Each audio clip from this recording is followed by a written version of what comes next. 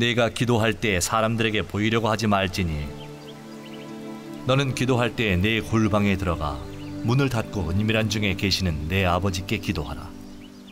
은밀한 중에 보시는 내 아버지께서 드러내어 내게 갚으시리라.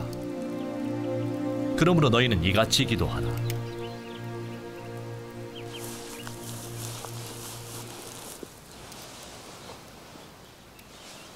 하늘에 계신 우리 아버지시여 이름이 거룩히 여김을 받으시옵소서.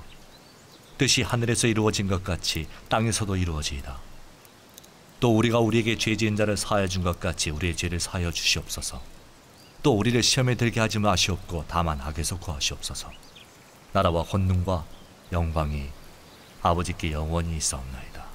아멘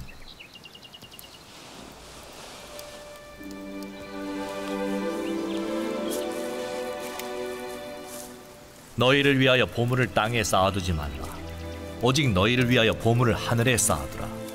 이는 네 보물이 있는 그곳에는 내 마음도 있을 것임이니라. 아무도 두 주인을 섬길 수 없나니 이는 혹 이를 미워하고 저를 사랑하거나 혹 그렇지 아니하면 이를 중히 여기고 저를 경히 여길 것임이니라. 너희가 하나님과 재물을 겸하여 섬길 수 없느니라.